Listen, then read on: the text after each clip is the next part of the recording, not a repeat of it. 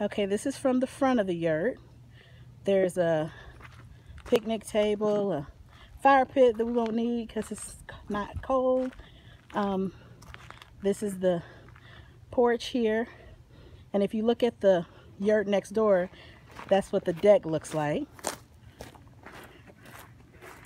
There's John walking up to the yurt. I'm gonna go see if we can look in this window, show you the inside.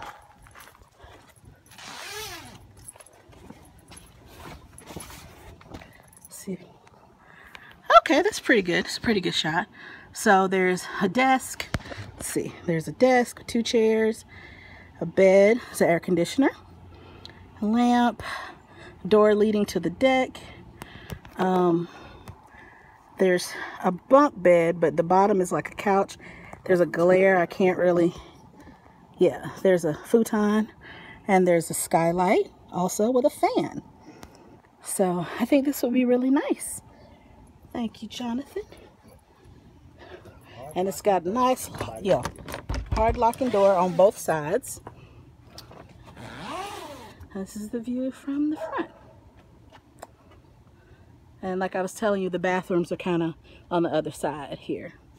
So, all right, we got, if we want to pump water for some reason, there's a pump. And then we've got, you know, lights right here, right outside the yard. So, there we go.